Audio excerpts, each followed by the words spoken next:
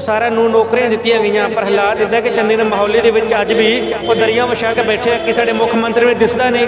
ਟੈਂਕੀਆਂ ਤੇ ਲੋਕ ਚੜੇ ਹੋਏ ਆ। ਕਾਫੀ ਪੰਜਾਬ ਦੇ ਵਿੱਚ ਸਿਰਫ ਦੋ ਤਰ੍ਹਾਂ ਦੀ ਸਰਕਾਰ ਬਣੀ ਜਾਂ ਤਾਂ ਅਕਾਲੀ ਦਲ ਸੀ ਤੇ ਜਾਂ ਫਿਰ ਸੀ ਕਾਂਗਰਸ। ਦੋਨਾਂ ਨੂੰ ਵੱਡੇ ਸਵਾਲ ਇੱਥੇ ਕਿਉਂਕਿ ਦੋਨਾਂ ਪਾਰਟੀਆਂ ਨੇ ਲੰਮਾ ਸਮਾਂ ਰਾਜ ਕੀਤਾ। ਜੀ ਭਾਜੀ। ਤੁਸੀਂ ਚਾਹ ਬਣਾਉਣ ਦਾ ਕੰਮ ਕਰਦੇ ਹੋ ਕਿੰਨੀ ਕੁ ਆਉਂਦੀ ਹੈ ਇੱਥੇ? ਮਿੱਟੀ ਬਹੁਤ ਆਉਂਦੀ ਭਾਜੀ। ਕਦੀ ਕਿਸੇ ਨੇ ਪਾਣੀ ਛਿੜਕਣ ਦੀ ਖੇਚਲ ਕੀਤੀ? ਪਾਣੀ ਭਾਜੀ ਆਪੇ ਖੇਚਲ ਕਰੀਏ ਸਵੇਰ ਨੂੰ ਘੰਟਾ ਲਾਈਦਾ ਪਾਣੀ ਇਹਦਾ ਕੋਈ ਖੇਚਲ ਨਹੀਂ ਕਰਦਾ ਜਦੋਂ ਅਗਰਬੱਤੀ ਦਾ ਟਾਈਮ ਹੁੰਦਾ ਤਾਂ ਇੱਥੇ ਪਾਣੀ ਛਿੜਕਣ ਲੱਗੇ ਹੁੰਦੇ ਆ। ਸਵੇਰੇ ਜਦੋਂ ਪੂਜਾ ਕੀਤੀ ਜਾਂਦੀ ਹੈ ਤੇ ਪਹਿਲਾਂ ਪੂਜਾ, ਇਹ ਖੜਕ ਦੀ ਪੂਜਾ ਕਰਦੇ ਆ, ਪਾਣੀ ਛਿੜਕਦੇ ਉਸ ਤੋਂ ਬਾਅਦ ਇਹ ਕੰਮ ਕਰ ਤੱਕ ਸਿਰਫ ਇਹੀ ਮੁੱਦੇ ਆ। ਨੌਕਰੀਆਂ ਦੀ ਗੱਲ ਕੀਤੀ ਜਾਂਦੀ, ਜਿਵੇਂ ਕਿ ਕੈਪਟਨ ਸਰਕਾਰ ਨੇ ਕਿਹਾ ਕਿ ਘਰ ਘਰ ਦੇ ਵਿੱਚ ਨੌਕਰੀ ਪਰ ਕੀ ਹੁੰਦਾ ਹੈ। ਜਦੋਂ 5 ਸਾਲ ਪੂਰੇ ਹੁੰਦੇ ਤਾਂ ਮੁੱਖ ਮੰਤਰੀ ਬਦਲ ਜਾਂਦਾ ਹੈ। ਉਸ ਤੋਂ ਬਾਅਦ ਚੰਨੀ ਚੰਨੀ ਮੁੱਖ ਮੰਤਰੀ ਬਣਿਆ ਪਰ ਫਿਰ ਕਰਿਓ ਐਨਐਨਆਰ ਨਿਊਜ਼ ਤੇ ਮੈਂ ਤੁਹਾਨੂੰ ਹਰਦੀਪ ਔਰ ਲੈ ਕੇ ਹਾਜ਼ਰ ਹਾਂ ਪ੍ਰੋਗਰਾਮ ਮਸਲੇ ਨਕੋਦਰ ਦੇ। ਜਿਸ ਦੇ ਤਹਿਤ ਤੁਸੀਂ ਦੇਖਦੇ ਹੋ ਨਕੋਦਰ ਦੇ ਜੋ ਪਰੇਸ਼ਾਨੀਆਂ ਨੇ, ਨਕੋਦਰ ਵਾਸੀ ਕਿਸ ਗੱਲ ਤੋਂ ਪਰੇਸ਼ਾਨ ਨੇ?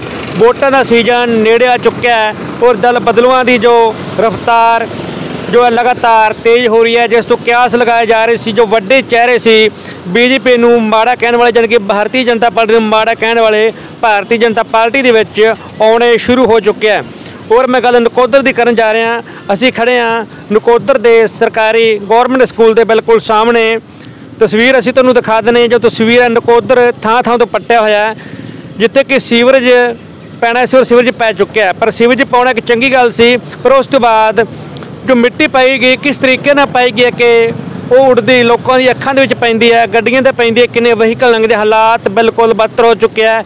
ਤਸਵੀਰ 'ਚ ਮੈਂ ਤੁਹਾਨੂੰ ਦੱਸ- ਦ- ਦਿਖਾ ਦੇਣਾ ਇਹ ਤਸਵੀਰ ਜੋ ਹੈ ਇਹ ਜਦੋਂ ਜਗਰਾਉਂ ਰੋਡ ਤੋਂ, ਜਗਰਾਉਂ ਤੋਂ ਨਕੋਦਰ ਵਿੱਚ ਐਂਟਰ ਕਰੀਏ ਤਾਂ ਰੇਲਵੇ ਫਾਟਕਾਂ ਦੇ ਪਿੱਛੇ ਦੀ ਤਸਵੀਰ ਹੈ ਵੱਡੀ ਤਸਵੀਰ ਮੈਂ ਤੁਹਾਡੇ ਸਾਹਮਣੇ ਦਿਖਾਉਣ ਜਾ ਰਿਹਾ ਕਿ ਦੇਖ ਲਓ ਕਿੰਨੀ ਵੱਡੀ ਗੱਡੀਆਂ ਦੀ ਲਾਈਨ ਲੱਗੀ ਹੈ ਔਰ ਜੋ ਸਾਰੀਆਂ ਗੱਡੀਆਂ ਜੋ ਜਾ ਰਹੀਆਂ ਧੂੜ ਮਿੱਟੀ ਦੇ ਵਿੱਚ ਇਸ ਤਰ੍ਹਾਂ ਧੂੜ ਛਾਈ ਹੋਈ ਹੈ, ਜਿਸ ਤਰ੍ਹਾਂ ਕਿ ਅਸੀਂ ਕਹਿ ਸਕਦੇ ਹਾਂ ਕਿ ਧੁੰਦ ਪਈ ਹੋਵੇ, ਬੇਸ਼ੱਕ ਅਜੇ ਸਿਆਲ ਸ਼ੁਰੂ ਹੋ ਚੁੱਕਿਆ, ਧੁੰਦ ਨਹੀਂ ਪਈ, ਪਰ ਜੋ ਧੂੜ ਮਿੱਟੀ ਨੇ ਧੁੰਦ ਪੂਰੀ ਤਰ੍ਹਾਂ ਬਣਾਈ ਹੋਈ ਹੈ।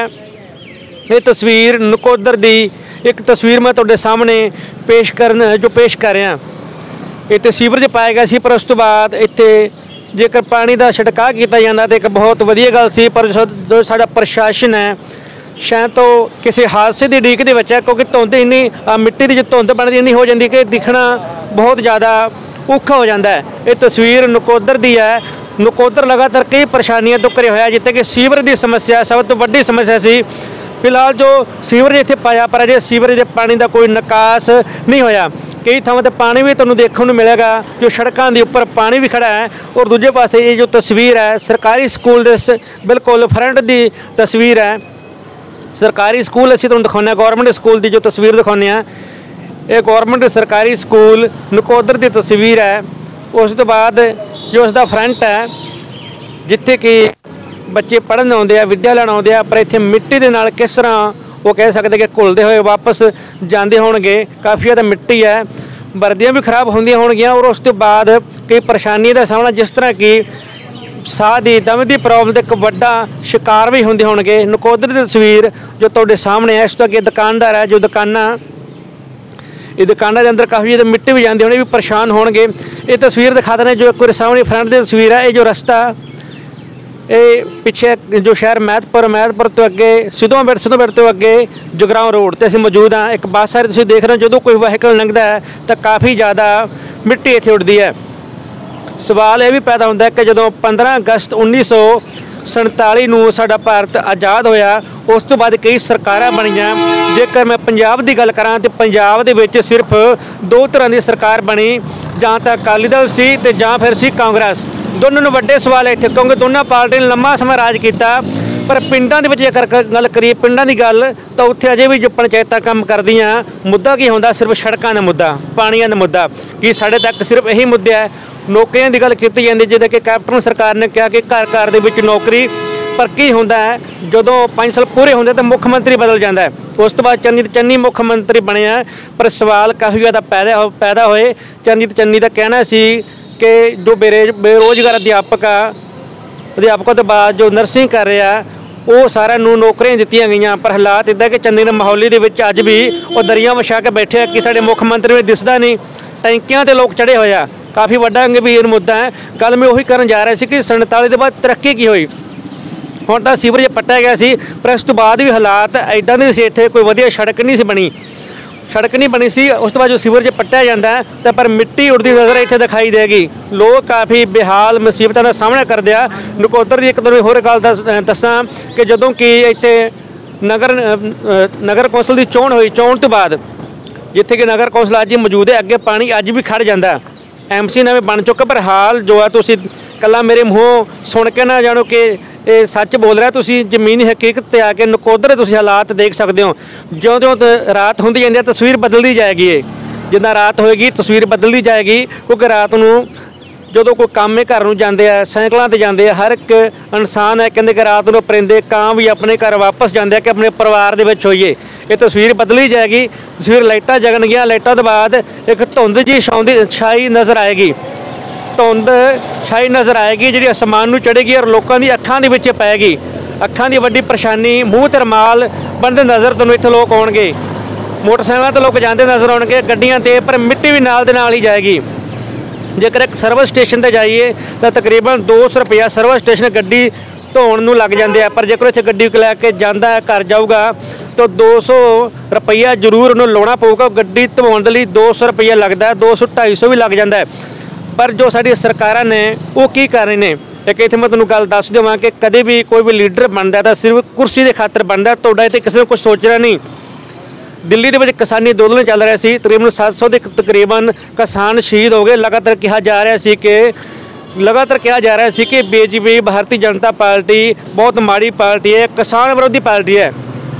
ਇੱਥੇ ਸਵਾਲ ਇਹ ਵੀ ਬਣਦਾ ਕਿ ਮਨਜਿੰਦਰ ਸਿੰਘ ਸਰਸਾ ਪਾਰਟੀ ਛੱਡ ਕੇ ਬੀਜੇਪੀ ਵਿੱਚ ਬੀਜੇਪੀ ਵਿੱਚ ਇਸ ਨੂੰ ਮਾੜਾ ਕਹਿੰਦੇ ਸੀ ਉਸ ਵਿੱਚ ਸ਼ਾਮਲ ਹੋ ਜਾਂਦਾ ਹੈ। ਉਹੀ ਪਾਰਟੀ ਜਿਸ ਨੂੰ ਉਹ ਗਾਲਾਂ ਕੱਢਦਾ ਸੀ, ਉਹ ਪਾਰਟੀ ਛੱਡ ਕੇ ਉਸ ਦੂਸਰੀ ਪਾਰ- ਪਾਰਟੀ ਬੀਜੇਪੀ ਵਿੱਚ ਸ਼ਾਮਲ ਹੋ ਜਾਂਦਾ ਇਸ ਤਰ੍ਹਾਂ ਦੇ ਹੋਰ ਵੀ ਕਈ ਆਗੂ ਕਿਆਸ ਲਗਾਇਆ ਲਗਾਇਆ ਜਾ ਰਿਹਾ ਕਿ ਬੀਜੇਪੀ ਦੇ ਵਿੱਚ ਆਉਣਗੇ। ਮਸਲਾ ਸਿਰਫ ਕੁਰਸੀ ਦਾ ਮਸਲਾ, ਹੋਰ ਕੋਈ ਮਸਲਾ ਨਹੀਂ, ਜਿਸ ਨੂੰ ਕਿਤੋਂ ਚਾਰ ਪੈਸੇ ਬਣਦੇ ਆ, ਉਸ ਪਾਸੇ ਹੋ ਜਾਂਦਾ ਹੈ। ਸਿਆਸੀਆਂ ਰੋਟੀਆਂ ਸੇਕੀਆਂ ਜਾ ਰਿਹਾ ਗੱਲ ਵਿਕਾਸ ਦੀ ਹੋ- ਵਿਕਾਸ ਦੀ ਮੈਂ ਗੱਲਾਂ ਤੁਹਾਨੂੰ ਤਾਂ ਦੱਸ ਰਿਹਾ ਕਿ ਵਿਕਾਸ ਕਿੰਨਾ ਹੁੰਦਾ ਹੈ? ਹਰ ਕੇ ਬੰਦਾ ਆਪਣਾ ਫਾਇਦਾ ਚਾਹੁੰਦਾ ਪਰ ਅਵਕਾਸ਼ ਤੁਹਾਡੇ ਸਾਹਮਣੇ ਹੈ। ਇਹ ਇਕੱਲੀ ਨਕੋਦਰ ਦੀ ਤਸਵੀਰ ਨਹੀਂ, ਤੁਹਾਨੂੰ ਤਸਵੀਰਾਂ ਹੋਰ ਹੀ ਮਿਲ ਜਾਣਗੀਆਂ। ਜਲੰਧਰ ਜਾਓਗੇ, ਜਾਂ ਲੁਧਿਆਣੇ ਜਾਓਗੇ ਇਦਾਂ ਦੀਆਂ ਬਹੁਤ ਪਰੇਸ਼ਾਨੀਆਂ ਹੋਣਗੀਆਂ। ਕਿ ਆਜ਼ਾਦੀ ਤੋਂ ਬਾਅਦ ਅਸੀਂ ਇਹ ਤਰੱਕੀ ਕੀਤੀ ਹੈ ਕਿ ਸੜਕਾਂ ਤੱਕ ਨਹੀਂ ਬਣਾ ਸਕੇ। ਇਹ ਤਸਵੀਰਾਂ ਨਕੋਦਰ ਦੇ ਨੇ, ਅਜਿਹੀਆਂ ਤਸਵੀਰਾਂ ਹੋਰ ਹੀ ਮਿਲਣਗੀਆਂ ਤੁਹਾਨੂੰ। ਅੱਗੇ ਤੱਕ ਅਸੀਂ ਤੁਹਾਨੂੰ ਲੈ ਚੱਲਦੇ ਹਾਂ। ਅੱਗੇ ਤੱਕ ਤਸਵੀਰ ਦਿਖਾਵਾਂਗੇ। ਤਸਵੀਰ ਦਿਖਾਉਣ ਦਾ ਇੱਕ ਮਕਸਦ ਹੈ ਕਿ ਥੋੜੇ ਤੁਸੀਂ ਜਾਗਰੂਕ ਹੋ ਜਾਓ। ਜਦੋਂ ਵੋਟਾਂ ਪਾਓਗੇ ਤਾਂ ਸੋਚ ਸਮਝ ਕੇ ਵੋਟਾਂ ਪਾਇਓ। ਵੋਟਾਂ ਪਾਉਣ ਤੋਂ ਬਾਅਦ ਜੋ ਲੀਡਰ ਬਣਦੇ ਆ, ਸਵਾਲ ਜ਼ਰੂਰ ਕਰਿਓ ਕਿ ਸਾਡੇ ਇਸ, ਇਹ ਕੰਮ ਨਹੀਂ ਹੋਏ। ਜੇਕਰ ਅਸੀਂ ਮਹੱਲੇ ਗਲੀ ਦੇ ਵਿੱਚ ਰਹਿੰਦੇ ਤਾਂ ਉੱਥੇ ਗੱਲ ਕਰਿਓ ਕਿ ਸਾਡੇ ਮਹੱਲੇ ਦਾ ਵਿਕਾਸ ਨਹੀਂ ਹੋਇਆਗਾ। ਜੇਕਰ 70 ਸਾਲਾਂ ਤੋਂ ਉੱਪਰ ਸਾਡਾ ਇਹ ਵਿਕਾਸ ਹੋਇਆ ਤਾਂ ਹੋਰ ਤੁਸੀਂ ਅੰਦਾਜ਼ਾ ਕੀ ਲਗਾ ਸਕਦੇ ਹੋ? ਇਸ ਖਬਰ ਨੂੰ ਸ਼ੇਅਰ ਜ਼ਰੂਰ ਕਰ ਦਿਓ, ਜਾਂ ਪ੍ਰਸ਼ਾਸਨ ਜਾਂ ਸਰਕਾਰ ਦੇ ਕੰਨਾਂ ਤੱਕ ਇਹ ਪਹੁੰਚ ਸਕੇ। ਮੇਰੀ ਕਿਸੇ ਨਾਲ ਕੋਈ ਨਿੱਜੀ ਦੁਸ਼ਮਣੀ ਨਹੀਂ ਹੈ, ਸਿਰਫ ਜਨਤਾ ਦੇ ਨਾਲ ਜੁੜਿਆ ਮੁੱਦਾ ਹੈ, ਤਾਂ ਹੀ ਮੈਂ ਤੁਹਾਡੇ ਤੱਕ ਪਹੁੰਚਾ ਰਿਹਾ, ਜੋ ਮੇਰੀ ਇੱਕ ਜ਼ਿੰਮੇਵਾਰੀ ਬਣਦੀ ਸੀ। ਪਰ ਤੁਹਾਡੀ ਵੀ ਇੱਕ ਜ਼ਿੰਮੇਵਾਰੀ ਬਣਦੀ ਹੈ ਕਿ ਖਬਰ ਨੂੰ ਸ਼ੇਅਰ ਜ਼ਰੂਰ ਕਰਿਓ। ਨਕੋਦਰ ਤਸਵੀਰ ਤੁਹਾਡੇ ਸਾਹਮਣੇ ਆ। ਤੁਸੀਂ ਦੇਖ ਸਕਦੇ ਹੋ ਕਿਸ ਤਰ੍ਹਾਂ ਸੜਕ ਪਹਿਲਾਂ ਪੱਟੀ ਔਰ ਉਸ ਤੋਂ ਬਾਅਦ ਇਹ ਸਾਈਡ ਤੇ ਰੱਖ ਦਿੱਤੇ ਗਏ। ਜੋ ਇਹ ਤੁਸੀਂ ਦੇਖ ਸਕਦੇ ਹੋ, ਜੋ ਇਹ ਸੜਕ ਪੱਟੀ ਗਈ ਸੀ, ਜੋ ਮਟੀਰੀਅਲ ਬਚਿਆ ਸੀ, ਉਹ ਸਾਈਡ ਤੇ ਰੱਖ ਦਿੱਤਾ। ਕਿਤੇ ਹੋਰ ਜਾਂ ਸਾਈਡ ਤੇ ਨਹੀਂ ਰ- ਕਿਤੇ ਪਾਸੇ ਨਹੀਂ ਰੱਖਿਆ। ਇਹ ਸਾਈਡ ਤੇ ਰੱਖ ਦਿੱਤਾ। ਰਾਤ ਨੂੰ ਹਨੇਰੇ ਦੇ ਵਿੱਚ ਜੇ ਕੋਈ ਵਹੀਕਲ ਆਉਂਦਾ ਹੈ, ਸੜਕ ਤੋਂ ਥੋੜਾ ਫਿਸਲ ਜਾਂਦਾ ਤੇ ਇਸ ਵਿੱਚ ਵੱਜਦਾ ਤੇ ਜ਼ਿੰਮੇਵਾਰ ਕੌਣ ਹੋਗਾ ਹਾਦਸੇ ਤੋਂ ਬਾਅਦ ਸਰਕਾਰਾਂ ਐਲਾਨ ਕਰਦੀਆਂ ਮੁਆਵਜ਼ੇ ਦੀਆਂ, ਪਰ ਇੱਥੇ ਤਾਂ ਮੁਆਵਜ਼ਾ ਵੀ ਨਹੀਂ ਮਿਲਣਾਗਾ ਕਿ ਗਰੀਬ ਇਨਸਾਨ ਜੋ ਜੋ ਹੈ ਸਿਰਫ ਮੁਆਵਜ਼ੇ ਲਈ ਰੱਖੇ ਗਿਆ ਹੈ। ਉਧਰ ਜੋ ਪਹਿਲਾਂ ਗੱਲ ਕੀਤੀ ਕਿ ਜੋ ਟੰਕੀਆਂ ਦੇ ਉੱਪਰ ਬੇਰੋਜ਼ਗਾਰ ਅਧਿਆਪਕ ਚੜੇ ਹੋਏ ਆ ਉਹਨਾਂ ਦੀ ਕੋਈ ਸੁਣਵਾਈ ਨਹੀਂ ਹੋ ਰਹੀ। ਇਸ ਤਰ੍ਹਾਂ ਲਗਾਤਾਰ ਕਈ ਮੁੱਦੇ ਆ, ਪਰ ਲਗਾਤਾਰ ਅਸੀਂ ਮੁੱਦੇ ਤੁਹਾਡੇ ਤੱਕ ਪਹੁੰਚਾਵਾਂਗੇ, ਉਠਾਉਂਦੇ ਰਹੇ ਔਰ ਉਠਾਉਂਦੇ ਰਹਾਂਗੇ। ਅੱਗੇ ਦੀ ਤਸਵੀਰ ਅਸੀਂ ਦਿਖਾਵਾਂਗੇ। ਅੱਗੇ ਦੀ ਮੈਂ ਤੁਹਾਨੂੰ ਤਸਵੀਰ ਦਿਖਾ ਦੇਣਾ ਕਿਉਂਕਿ ਅੱਗੇ ਸੜਕ ਦੇ ਉੱਪਰ ਪਾਣੀ ਵੀ ਖੜਾ ਹੈ। ਲਗਾਤਾਰ ਸੜਕਾਂ ਦਾ ਮੁੱਦਾ ਨਕੋਦਰ ਦਾ ਇੱਕ ਭਿਆਨਕ ਰੂਪ ਧਾਰਨ ਕਰਦਾ ਜਾ ਰਿਹਾ ਹੈ। ਪਹਿਲਾਂ ਸੜਕਾਂ ਨੂੰ ਪੱਟੋ, ਉਹ ਅਜੇ ਪੂਰੀ ਕੰਪਲੀਟ ਨਹੀਂ ਹੁੰਦੀ, ਫਿਰ ਦੂਸਰੀ ਨੂੰ ਪੱਟ ਲਓ, ਫਿਰ ਤੀਸਰੀ ਨੂੰ ਪੱਟ ਲਓ। ਪਹਿਲਾਂ ਚਾਹੀਦਾ ਕਿ ਇੱਕ ਸੜਕ ਜੇ ਪੱਟੀ ਜਾਂਦੀ ਹੈ, ਉਸ ਨੂੰ ਕੰਪਲੀਟ ਕਰੋ। ਜੇ ਕੰਪਲੀਟ ਵੀ ਨਹੀਂ ਕਰ ਸਕਦੇ, ਤਾਂ ਜੋ ਸੜਕ ਪੱਟੀ ਜਾਂਦੀ ਹੈ ਉਸ ਦਾ ਜੋ ਉੱਪਰ ਸੜਕ ਪੱਟੀ ਜਾਂਦੀ ਹੈ, ਜੋ ਮਲਬਾ ਸਾਈਡ ਤੇ ਰੱਖਿਆ ਜਾਣਾ ਅਤੀ ਜ਼ਰੂਰੀ ਹੈ, ਜਾਂ ਕੋਈ ਤਾਂ ਜੋ ਕੋਈ ਨੁਕਸਾਨ ਨਾ ਹੋਵੇ, ਤਾਂ ਜੋ ਕੋਈ ਹਾਦਸਾ ਨਾ ਵਾਪਰੇ। ਪਰ ਅਜਿਹਾ ਇੱਥੇ ਕੁਝ ਵੀ ਨਹੀਂ ਹੁੰਦਾ। ਇਹ ਤੁਸੀਂ ਅੱਗੇ ਤਸਵੀਰ ਦੇਖ ਸਕਦੇ ਹੋ। ਇਹ ਤਸਵੀਰ ਸੀਵਰੇਜ ਦੇ ਪਾਣੀ ਦੀ ਹੈ। ਇਹ ਸੜਕਾਂ ਤੇ ਪਾਣੀ ਆ ਚੁੱਕਿਆ ਹੈ। ਸੜਕਾਂ ਦੇ ਉੱਪਰ ਪਾਣੀ ਆ ਚੁੱਕਿਆ ਹੈ। ਤਸਵੀਰ ਅੱਗੇ ਜਿੱਦਾਂ ਤੁਸੀਂ ਜਾਓਗੇ, ਧੁੰਦਲੀ ਤਸਵੀਰ ਲਗਾਤਾਰ ਹੁੰਦੀ ਜਾਏਗੀ ਇਹ। ਅੱਗੇ ਰੇਲਵੇ ਫਾਟਕ ਆ ਜਾਣਗੇ, ਕਿਉਂਕਿ ਸ਼ਾਮ ਦਾ ਟਾਈਮ ਪਹਿਲੇ ਵੀ ਦੱਸ ਚੁੱਕਿਆ ਕਿ ਸ਼ਾਮ ਦੇ ਸਮੇਂ ਟ੍ਰੈਫਿਕ ਜ਼ਿਆਦਾ ਹੋ ਜਾਂਦੀ ਹੈ। ਲਾਈਟਾਂ ਦੇ ਵਿੱਚ ਧੁੰਦਲੀ ਤਸਵੀਰ ਹੁੰਦੀ ਜਾਏਗੀ। ਨਕੋਦਰ ਦੀਆਂ ਤਸਵੀਰਾਂ, ਪ੍ਰੋਗਰਾਮ ਮਸਲੇ ਨਕੋਦਰ ਦੇ ਐਪੀਸੋਡ 2 ਯਾਨੀ ਕਿ ਭਾਗ ਦੂਜਾ ਲੈ ਕੇ ਮੈਂ ਤੁਹਾਨੂੰ ਹਾਜ਼ਰ ਹਾਂ। ਇਸ ਤਰ੍ਹਾਂ ਕੱਲੀ ਕੱਲੀ ਜੋ ਖਬਰ ਨਕੋਦਰ ਵਾਸੀਆਂ ਨਾਲ ਜੁੜੀ ਹੋਈ ਹੈ, ਸਾਰੀ ਖਬਰ ਦਿਖਾਵਾਂਗੇ। ਇਸ ਤੋਂ ਬਾਅਦ ਵੀ ਜੋ ਅਗਲਾ ਐਪੀਸੋਡ ਉਹ ਵੀ ਅਸੀਂ ਲੈ ਕੇ ਤੁਹਾਡੇ ਸਾਹਮਣੇ ਹਾਜ਼ਰ ਹੋਵਾਂਗੇ। ਤੁਸੀਂ ਦੇਖ ਸਕਦੇ ਹੋ ਕਿ ਅੱਗੇ ਇੱਕ ਰੇੜੀ ਲੱਗੀ ਹੋਈ ਹੈ, ਬਾਪੂ ਰੇੜੀ ਲਗਾ ਕੇ ਬੈਠਾ ਹੈ। ਸਾਰੀ ਮਿੱਟੀ ਕੱਟਾ ਜੋ ਵੀ ਸਾਰੇ, ਬਾਪੂ ਦਾ ਰੋਜ਼ਗਾਰ ਹੈ। ਜੇਕਰ ਉਹ ਨਹੀਂ ਕਰਦਾ ਤਾਂ ਰੋਟੀ ਕਹਿੰਦੀ ਖਾਣੀ ਔਖੀ ਹੋ ਜਾਏਗੀ, ਪਰ ਉਹ ਰੋਜ਼ਗਾਰ ਹੈ, ਮਜਬੂਰ ਹੈ, ਪਰ ਮਿੱਟੀ ਉਸ ਤੇ ਵੀ ਪੈਂਦੀ ਹੋਗੀ ਤਸਵੀਰ ਤੁਸੀਂ ਦੇਖ ਸਕਦੇ ਹੋ। ਇਹ ਅੱਗੇ ਤੁਸੀਂ ਦੇਖ ਸਕਦੇ ਹੋ ਕਿ ਹਾਥੀ ਜੋ ਵਹੀਕਲ ਆ ਰਿਹਾ ਹੈ, ਲਗਾਤਾਰ ਮਿੱਟੀ 'ਚ ਗਵਾਚ ਹੋਇਆ ਚਾਰੇ ਪਾਸੇ ਜਾਣੀ ਕਿ ਮਿੱਟੀ ਮਿੱਟੀ ਹੈ। ਨਕੋਦਰ ਪੂਰਾ ਮਿੱਟੀ ਦੇ ਨਾਲ ਭਰ ਚੁੱਕਿਆ, ਪਰ ਮੈਂ ਜਿੱਦਾਂ ਕਿ ਪਹਿਲਾਂ ਵੀ ਦੱਸ ਚੁੱਕਿਆ ਕਿ ਸੀਵਰੇਜ ਪਾਣਾ ਜ਼ਰੂਰੀ ਸੀ, ਪਰ ਪਾਣੀ ਵੀ ਛਿੜਕਣਾ ਜ਼ਰੂਰੀ ਸੀ। ਪਾਣੀ ਛਿੜਕਾ, ਛਿੜਕਣਾ ਜ਼ਰੂਰੀ ਸੀ, ਜੇਕਰ ਪਾਣੀ ਛਿੜਕਿਆ ਜਾਂਦਾ ਤੇ ਜੇ ਹਾਲਾਤ ਇੱਥੇ ਨਹੀਂ ਸੀ ਹੋਣੇ, ਜੋ ਤੁਸੀਂ ਦੇਖ ਸਕਦੇ ਹੋ। ਇਹ ਨਕੋਦਰ ਦੇ ਹਾਲਾਤ ਲਗਾਤਾਰ ਤੁਹਾਡੇ ਸਾਹਮਣੇ ਮੈਂ ਦਿਖਾ ਰਿਹਾ, ਨਕੋਦਰ ਦੀ ਤਸਵੀਰ ਤੁਹਾਡੇ ਸਾਹਮਣੇ ਹੈ। ਅੱਗੇ ਤਸਵੀਰ ਦਿਖਾ ਦਿੰਦੇ ਆ ਇੱਕ ਹੋਰ ਗੱਡੀ ਆ ਰਹੀ ਹੈ। ਇਹ ਵੀ ਤਸਵੀਰ ਤੁਹਾਡੇ ਸਾਹਮਣੇ ਹੈ।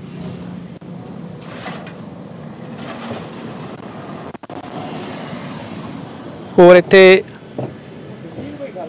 ਭਾਈ ਸਾਹਿਬ ਇਹ ਚਾਹ ਬਣਾਉਣ ਦਾ ਕੰਮ ਕਰਦੇ ਆ। ਹਾਂਜੀ ਭਾਈ ਸਤਿ ਸ਼੍ਰੀ ਅਕਾਲ ਜੀ। ਇੱਕ ਮਿੰਟ ਜੀ ਲੈਣਾ ਤੁਹਾਡੇ ਤੋਂ ਆਪਾਂ। ਇਹ ਕਿੰਨੇ ਕੁ ਹਲਾ ਟਾਈਮ ਤੋਂ ਲਾਇਆ ਤੇ ਇਦਾਂ ਦੇ ਮਾੜੇ ਬਣੇ ਮਿੱਟੀ ਕਿੰਨੀ ਉੱਡਦੀ ਹੈ ਜੀ? ਮਿੱਟੀ ਭਾਜੀ ਮਿੱਟੀ ਤਾਂ ਸਰੀ ਉੱਡਦੀ ਭਾਜੀ। ਤੁਸੀਂ ਚਾਹ ਬਣਾਉਣ ਦਾ ਕੰਮ ਕਰਦੇ ਹੋ ਕਿੰਨੀ ਕੁ ਆਉਂਦੀ ਹੈ ਇੱਥੇ? ਮਿੱਟੀ ਬਹੁਤ ਆਉਂਦੀ ਭਾਜੀ। ਕਦੀ ਕਿਸੇ ਨੇ ਪਾਣੀ ਛਿੜਕਣ ਦੀ ਖੇਚਲ ਕੀਤੀ? ਪਾਣੀ ਭਾਜੀ ਆਪੇ ਹੀ ਖੇਚਲ ਕਰੀਦੀ ਸਵੇਰ ਨੂੰ ਘੰਟਾ ਲਾਈਦਾ ਪਾਣੀ ਨੂੰ। ਆ ਦੇਖ ਲਓ ਕਹਿੰਦੇ ਘੰਟਾ ਲਾਈਦਾ ਕੋਈ ਖੇਚਲ ਨਹੀਂ ਕਰਦਾ। ਜਦੋਂ ਅਗਰਬੱਤੀ ਦਾ ਟਾਈਮ ਹੁੰਦਾ ਤਾਂ ਇੱਥੇ ਪਾਣੀ ਛਿੜਕਣ ਲੱਗੇ ਹੁੰਦੇ ਆ। ਸਵੇਰੇ ਜਦੋਂ ਪੂਜਾ ਕੀਤੀ ਜਾਂਦੀ ਹੈ ਤੇ ਪਹਿਲਾਂ ਪੂਜਾ ਇਹ ਖੜਕ ਦੀ ਪੂਜਾ ਕਰਦੇ ਆ ਪਾਣੀ ਛਿੜਕਦੇ ਉਸ ਤੋਂ ਬਾਅਦ ਇਹ ਕੰਮਕਾਰ ਸਾਰਾ ਹੁੰਦਾ। ਹਾਂਜੀ ਵੀਰ ਜੀ ਆ ਜਾਓ ਤੁਸੀਂ ਵੀ। 2 ਮਿੰਟ ਜੀ ਵੀਰ ਜੀ।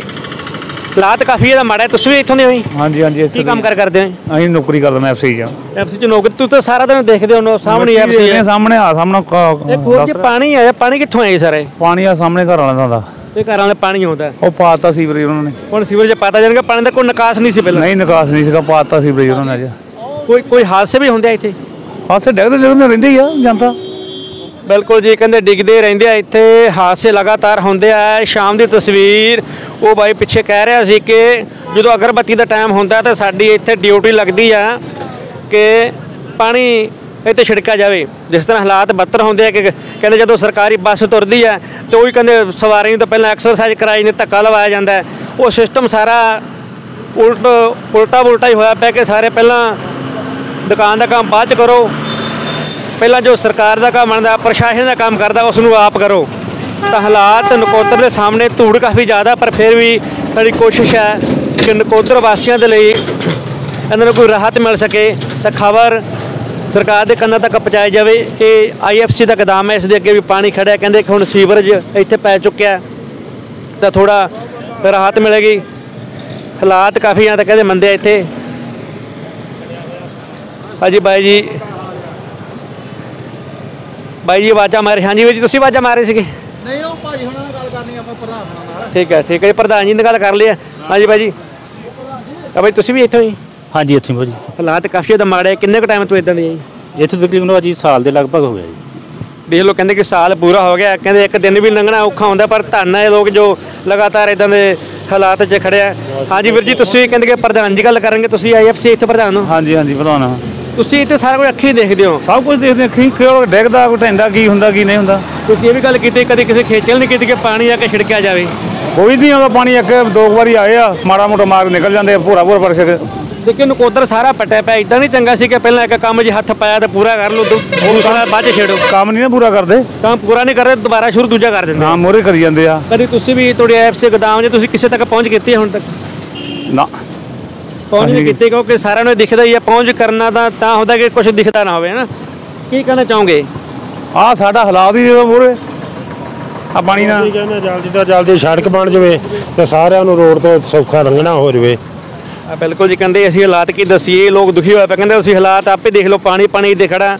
ਆ ਦੇਖ ਲਓ ਅੱਗੇ ਦੀ ਜੋ ਤਸਵੀਰ, ਮੈਂ ਤੁਹਾਨੂੰ ਦਿਖਾ ਦਿੰਦਾ, ਟਰਾਲੀਆਂ, ਬੱਸਾਂ ਬੱਸਾਂ, ਗੱਡੀਆਂ, ਜੋ ਵੀ ਆ, ਉਹ ਲਗਾਤਾਰ ਲਗਾਤਾਰ ਲੰਘ ਰਹੀਆਂ ਮੁਸੀਬਤਾਂ ਪਰੇਸ਼ਾਨੀ ਦਾ ਸਾਹਮਣਾ, ਜੋ ਰੇੜੀ ਵਾਲਾ, ਜਾਂ ਫੜੀ ਵਾਲਾ, ਇੱਥੇ ਸਾਰੇ ਦੁਖੀ ਆ। ਇੱਕ ਮੈਂ ਤੁਹਾਨੂੰ ਵੱਡੀ ਤਸਵੀਰ ਜ਼ੂਮ ਕਰਕੇ ਦਿਖਾਉਣ ਦੀ ਕੋਸ਼ਿਸ਼ ਕਰਾਂਗਾ। ਸਤਿਕਾਰਯੋਗ ਜੋ ਸਾਡੇ ਮੁੱਖ ਮੰਤਰੀ ਚਰਨਜੀਤ ਸਿੰਘ ਚੰਨੀ, ਉਹਨਾਂ ਦੇ ਇੱਥੇ ਇੱਕ ਬੋਰਡ ਲੱਗਿਆ ਹੈ ਇੱਕ ਬੋਰਡ ਦੇ ਉੱਪਰ ਲਿਖਿਆ ਕਿ 36000 ਕੱਚੇ ਮੁਲਾਜ਼ਮਾਂ ਨੂੰ ਪੱਕੇ 36000 ਕੱਚੇ ਮੁਲਾਜ਼ਮ ਪੱਕੇ। ਇਹ 36 ਮੁਲਾਜ਼ਮ 36000 ਮੁਲਾਜ਼ਮ ਕਿਹੜੇ ਪੱਕੇ ਕੀਤੇ ਆ? ਉਸ ਦਾ ਜ਼ਿਕਰ ਕਰਨਾ ਔਖਾ ਹੈ, ਕਿਉਂਕਿ ਜੇ 36000 ਕੀਤੇ ਹੁੰਦੇ ਤਾਂ ਚੰਡੀਗੜ੍ਹ ਮਹੱਲੇ 'ਚ ਧਰਨਾ ਨਾ ਲੱਗਦਾ। ਉੱਥੇ ਹੋਰ ਵੀ ਧਰਨ ਲੱਗਿਆ ਉੱਥੇ ਡਾਕਟਰਾਂ ਦੇ ਵੀ ਧਰਨਾ ਲੱਗਿਆ ਹੋਇਆ, ਜੇਕਰ 36000 ਕੀਤੇ ਆ ਤਾਂ ਉਹ ਪਤਾ ਨਹੀਂ ਕਿਹੜੀ ਦੁਨੀਆ 'ਚ ਕੀਤੇ ਆ। ਚਰਨਜੀਤ ਚੰਨੀ ਦੱਸ ਸਕਦੇ ਆ ਲਗਾਤਾਰ ਉਹ ਬ- ਬਿਆਨ ਦੇ ਨਜ਼ਰ ਆਉਣਗੇ ਉਹਦੇ ਵਿਰੋਧੀ ਨਿਸ਼ਾਨੇ ਵਿੱਚ ਚੁੱਕਦੇ ਆ ਕਿ ਐਂਬੂਲੈਂਸ ਜਾ ਰਹੀ ਹੈ। ਤੁਸੀਂ ਦੇਖ ਸਕਦੇ ਹੋ ਇਸ 'ਚ ਮਰੀਜ਼ ਵੀ ਹੋ ਸਕਦਾ ਔਰ ਮਰੀਜ਼ ਦੀ ਜਾਨ ਨੂੰ ਖਤਰਾ ਵੀ ਹੋ ਸਕਦਾ ਹੈ, ਕਿਉਂਕਿ ਇੰਨੇ ਦੇ ਖੱਡਿਆਂ ਦੇ ਵਿੱਚੋਂ ਲੰਘ ਕੇ ਲਗਾਤਾਰ ਉਹ ਜਾ ਰਹੀ ਹੈ। ਕਿਹਾ ਜਾ ਸਕਦਾ ਜੇਕਰ ਮਰੀਜ਼ ਸਾਹ ਜਾਂ ਦਮੇ ਦੀ ਪ੍ਰੋਬਲਮ ਹੋਵੇ ਤਾਂ ਉਸ ਨੂੰ ਸੇਫ ਲਿਜਾਣਾ ਹੁੰਦਾ ਕਿਉਂਕਿ ਸਾਹ ਨਾ ਚੜਦਾ ਹੋਵੇ। ਜੇ ਉਸ ਨੂੰ ਆਕਸੀਜਨ ਲੱਗੀ ਹੁੰਦੀ ਤਾਂ ਇੰਨੇ ਨੇ ਵੱਡੇ ਖੱਡੇ, ਜੋ ਫੁੱਟ ਫੋੜ ਦੇ ਖੱਡੇ ਪਏ ਆ ਇਹਦੇ ਵਿੱਚ ਲੰਘ ਕੇ, ਜੇ ਉਸ ਨੂੰ ਕੁਝ ਹੋ ਜਾਂਦਾ ਤਾਂ ਉਸ ਦਾ ਕੌਣ ਜ਼ਿੰਮੇਵਾਰ ਹੋਵੇਗਾ? ਕਿ ਸਾਡੀ ਸਰਕਾਰ ਜ਼ਿੰਮੇਵਾਰ ਹੋਵੇਗੀ? ਕਿ ਨਕੋਦਰ ਪ੍ਰਸ਼ਾਸਨ ਜ਼ਿੰਮੇਵਾਰ ਹੋਵੇਗਾ? ਜਾਂ ਪਰ ਇੱਥੋਂ ਦੀ ਜੋ ਨਗਰ ਨਿਗਮ ਜ਼ਿੰਮੇਵਾਰ ਹੋਵੇਗੀ, ਕੌਣ ਜ਼ਿੰਮੇਵਾਰ ਹੋਵੇਗਾ? ਜੋ ਕਿ ਇਸ ਟਾਈਮ ਰਾਤ ਨੂੰ ਡਿੱਗ ਪੈਂਦਾ, ਤੇ ਉਸ ਦਾ ਜ਼ਿੰਮੇਵਾਰ ਕੌਣ ਹੋਵੇਗਾ? ਕਿਉਂਕਿ ਨਕੋਦਰ ਸਾਰਾ ਪੱਟਿਆ ਪਿਆ, ਜੇਕਰ ਹਸਪਤਾਲ ਤੱਕ ਵੀ ਜਾਣਾ ਪਵੇ, ਤਾਂ ਇੱਕ ਤਾਂ ਟ੍ਰੈਫਿਕ ਦੀ ਬੜੀ ਵੱਡੀ ਸਮੱਸਿਆ ਹੈ। ਟ੍ਰੈਫਿਕ ਦੀ ਸਮੱਸਿਆ ਤੋਂ ਬਾਅਦ ਥਾਂ ਤੇ ਖੱਡੇ ਪਏ ਹੋਏ ਆ, ਜੇ ਹਸਪਤਾਲ ਵੀ ਲਿਜਾਣਾ ਹੋਵੇ, ਤਕਰੀਬਨ 35 ਤੋਂ 40 ਮਿੰਟ ਲੱਗਦੇ ਆ, ਪਰ ਬੰਦੇ ਦੀ ਜਾਨ ਜਾਣ ਨੂੰ ਸਕਿੰਟਾਂ ਤੱਕ ਦਾ ਸਮਾਂ ਲੱਗਦਾ ਹੈ। ਜੇ ਕੋਈ ਗਰੀਬ ਜੇ ਕੋਈ ਅਮੀਰ, ਜਾਨ ਦੀ ਕੀਮਤ ਸਾਰਿਆਂ ਦੀ ਇੱਕੋ ਜੀ ਹੁੰਦੀ ਹੈ। ਪਰ ਸਵਾਲ ਵੱਡਾ ਇਹ ਹੈ ਕਿ ਜੇਕਰ ਉਹ ਪਹੁੰਚਾਉਣ ਤੱਕ ਜੇ ਤੇ 35 40 ਮਿੰਟ ਲੱਗ ਜਾਂਦੇ ਆ ਤਾਂ ਉਹ ਗਰੀਬ ਜਾਣ ਤੋਂ ਹੱਥ ਧੋ ਧੋ ਬੈਠੇਗਾ। ਪਰ ਉਸ ਨੂੰ ਸਾਡੇ ਡਿਜੀਟਲ ਇੰਡੀਆ ਦੀ ਸਾਡੀ ਆਜ਼ਾਦੀ ਦਾ ਫਾਇਦਾ ਕੀ ਹੋਵੇਗਾ? ਇਹ ਤਸਵੀਰਾਂ ਜੋ ਤੁਸੀਂ ਨਕੋਦਰ ਨੂੰ ਦੇਖ ਸਕਦੇ ਹੋ। ਸਾਡੀ ਇਹ ਖਬਰ ਤੁਹਾਨੂੰ ਕਿਸ ਤਰ੍ਹਾਂ ਦੀ ਲੱਗੀ? ਅਸੀਂ ਲਗਾਤਾਰ ਤੁਹਾਡੀ ਆਵਾਜ਼ ਸਰਕਾਰ ਦੇ ਕੰਨਾਂ ਤੱਕ, ਜਨਤਾ ਦੀ ਆਵਾਜ਼, ਆਵਾਮ ਦੀ ਆਵਾਜ਼ ਅਸੀਂ ਲਗਾਤਾਰ ਪਹੁੰਚਾਉਂਦੇ ਰਾਂਗੇ ਜਲਦੀ ਐਪੀਸੋਡ 3 ਜਾਣੀ ਕਿ ਭਾਗ ਤੀਜਾ ਲੈ ਕੇ ਮੈਂ ਹਾਜ਼ਰ ਹੋਵਾਂਗਾ। ਤੁਸੀਂ ਦੇਖਦੇ ਰਹੋ NNR news, camera person Davinder Sain ਨਾਲ ਹਰਦੀਪ ਨਕੋਦਰ।